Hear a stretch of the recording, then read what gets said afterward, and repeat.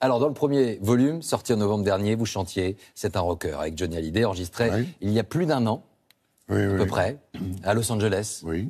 Quel souvenir de ce, ce jour-là? Parce que c'est un symbole fort que ce duo, ce dernier duo qu'il ait fait, ce soit avec vous.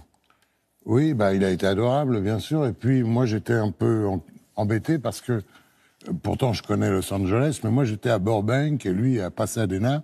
Et il n'arrêtait pas de me dire, mais pourquoi tu n'enregistres pas à côté de chez moi? Je dis, parce que c'est comme ça. Bon, puis, bon, finalement, il a mis deux heures pour arriver, deux heures pour repartir, pour rester dix minutes en studio. Donc, c'est vraiment une, une grande, grande preuve d'amitié. La première rencontre avec Johnny, lui à 14 ans, vous, vous 15 ans. Oui. Vous étiez l'aîné, toujours. Ah oui, j'ai toujours été l'aîné. C'est vous le grand frère, en fait. Oui, oui.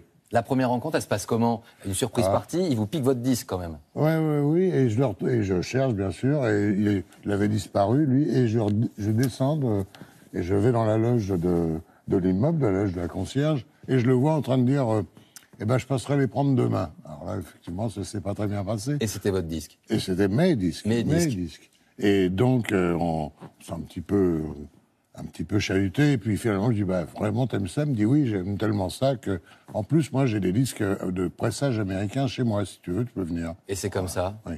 que tout s'est déroulé. Tout au long de ces années, cette amitié, elle aurait pu euh, se fracturer, se fracasser. Qu'est-ce qui a fait que Johnny et Eddie ont été euh, finalement tout le temps inséparables? Je crois que c'est un côté frangin, quoi. C'est un côté frère, un côté, un côté frère et puis familial. Parce que bon, lui, euh, lui était le parrain de ma petite fille cadette Pamela. Moi, je suis le parrain de Laura.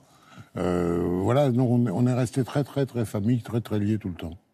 Influence américaine aussi. Eddie Oui. et Johnny, il y a toujours eu chez vous cette influence américaine. Qu'est-ce que vous aimez de l'Amérique? Le rêve américain, cette image un peu d'épinal, ces grands espaces, un peu tout cela? Ouais, c'est surtout euh, une- un certain cinéma, Oui. la musique, une certaine musique aussi, et puis surtout les grands espaces. Quant au reste, euh, ça me concerne pas. Je suis, je suis trop latin pour ça. C'est une Amérique idéale.